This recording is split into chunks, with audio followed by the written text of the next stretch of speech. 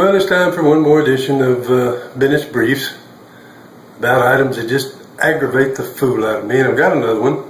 And I found, uh, uh, I didn't, I didn't invent it, but I heard it a long time ago, uh, the solution to that situation.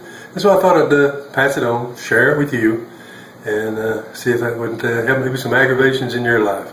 Because like I say, we're only here for a short time, and then we're gone. No use being aggravated all the time about it. And what I'm going to deal with today is bacon. I don't know of any normal person that doesn't like bacon. But one of the aggravations in this old life we have, when you buy a pound of bacon in the wrapper, get it home, get ready to cook it, start trying to tear it apart to cook, that the, the little the little pieces stick together. And you have a hard time, a devil of a time getting them separated and putting them in the pan.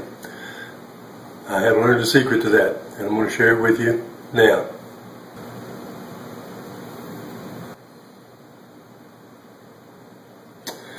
Okay, the secret that I have come up with, or learned, or, or discovered from someone else, that if you uh, if you have a package of bacon like this, your strips are going to stick together when you open it up. However, if you were to take this package and roll it, just like you do a piece of paper, roll it all the way to the end, and then just turn it over, straighten it back out, and roll it the other direction.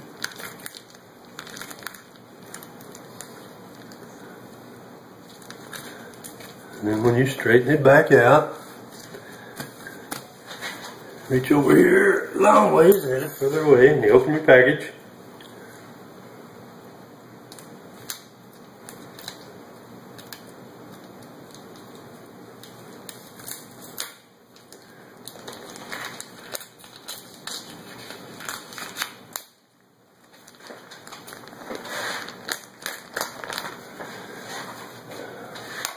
Yeah. Hmm. First of all, bacon. Mmm, doesn't it look good? Take a slice of bacon, pick it up, it does not stick. Next slice of bacon, pick it up, it does not stick.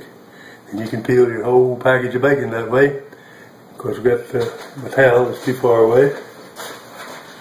There we go. Nice to have everything handy when you're ready for it, right? Yeah, called pre-planning. Sometimes called a recipe. Well, anyway, that's all there is to it. To keep your bacon from sticking, just uh, roll it up a little bit.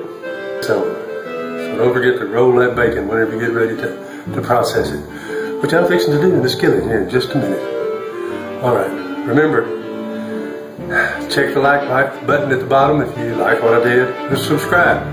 Who knows what we may come up with next. Always remember, we're here for such a short time, and then we're gone.